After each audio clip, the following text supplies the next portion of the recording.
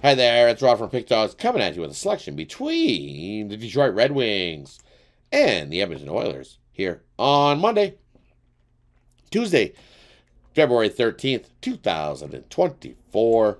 Just before we get to that selection, I want to say, hey, if you're new to Pick Dawgz, welcome aboard. Like, subscribe, flip on that notification bell. That way you get notified when the newest content drops here at Pick Dawgz. Also, looking for the bets I'm making, head on over to pickdawgz.com. Click that Premium Picks tab, scroll down, hit that hot handicapper button. You'll see who's hot over at Pick Dawgz. Also, there is a quick link in the description of this video that'll head you directly over to my cappers page where you can scoop up those best bets. All right, let's get this action between the Red Wings and the Oilers here on Tuesday. And you look, Edmonton 8 and 2 in their last 10 hockey games, playing great after their uh, slow start. Definitely turned things around. Definitely looking to bounce back uh, as they ended that back to back spot uh, versus the Kings, getting whooped 4 nothing no shame in that, as uh, it was a tough spot uh, on the back to back there. Playing Detroit, uh, Detroit playing great hockey, seven two and one in their last ten games.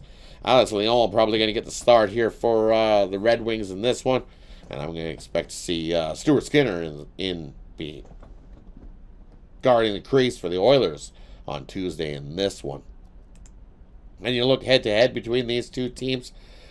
You look uh, the Oilers got the earlier win this season. 3-2 took overtime um, against detroit in that one.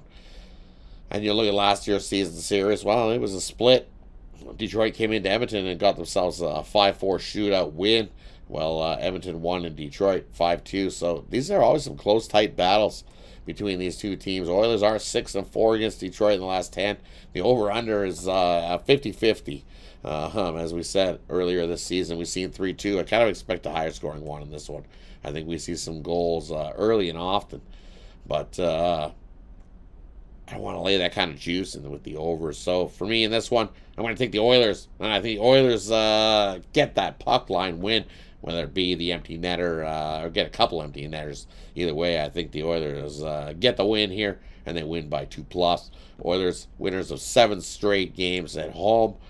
They have been playing uh, lights out at home this season. And if you look, those last games at home, one four one covered the puck line, three nothing covered the puck line, four one covered the puck line, four two covered the puck line, four two again covered the puck line. So five straight, six straight puck line covers at home for the Oilers.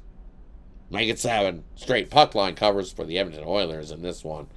Thanks everybody for tuning in. Appreciate each and every one you. Also, quick note, looking for the bets I'm making, hit the link in the description of this video. That'll head you right on over to my cappers page. You can scoop up those best bets.